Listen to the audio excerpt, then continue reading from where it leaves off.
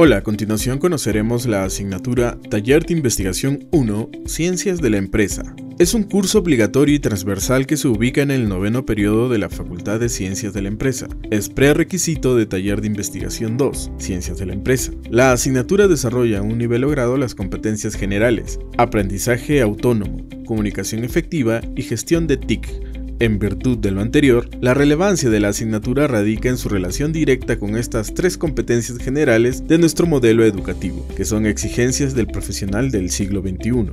Al finalizar la asignatura, el estudiante será capaz de diseñar el plan o proyecto de investigación. Te damos la bienvenida a esta asignatura, esperamos colmar tus expectativas y tan por seguro que te ayudaremos a resolver tus dudas e inquietudes. Una vez más, bienvenidos.